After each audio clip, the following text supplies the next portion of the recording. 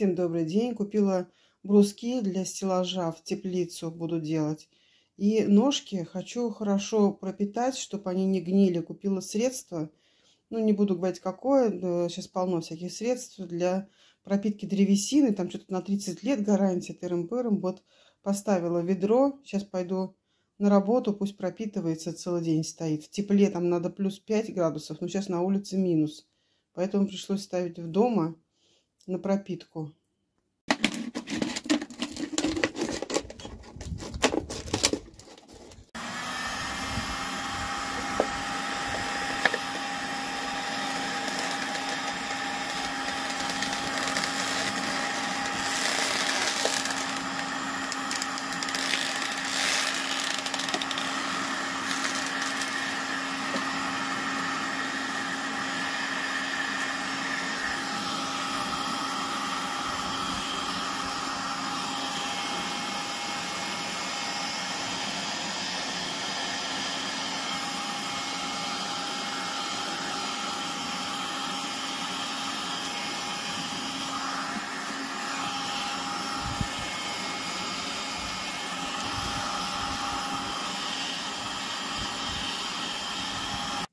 Готовлюсь к сезону.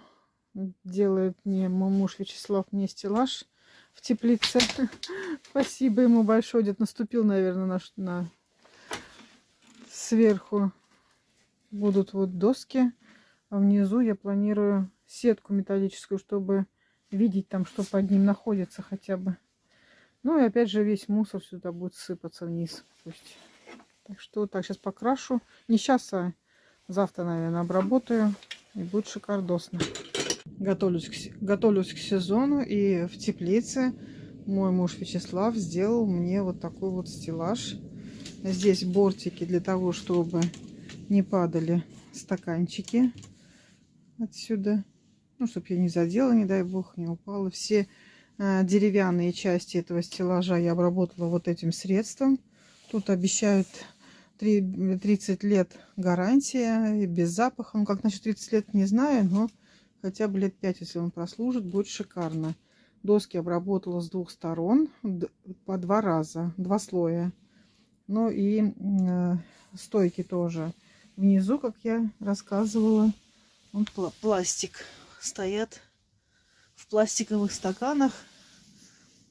Здесь светлый не видно. Вот тут темный темный пла пластмасс. Вот. Тут еще так бардачок на виду порядок.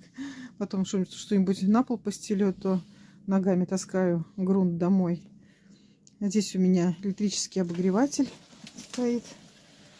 Висит. Вот свет. Мой муж Вячеслав меня провел. Это с светофора купленные. Что-то рублей там по 200 с чем-то лампы. Очень хорошо светят. Ну вот уже, уже почти все готово. А, здесь у меня розы еще, не буду показывать в бардаке. Лежат, сейчас достану их, поставлю на стеллаж. Тут э, сейчас температура плюс 2, плюс 4 пока.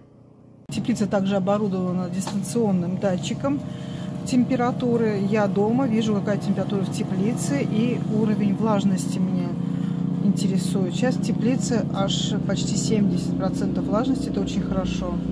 Вот так в теплице прикопанные призимовали у меня розочки. Но здесь ми ниже минус 10 не опускалась температура.